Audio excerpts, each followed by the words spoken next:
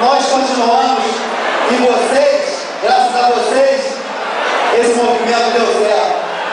A Black Music deu certo, o Charme deu certo, o Hip Hop deu certo. E não vamos deixar esse movimento cair. Vamos dar força ao Black Music Nacional, que é muito importante, para a gente ter os nossos artistas também se apresentando aqui nesse palco.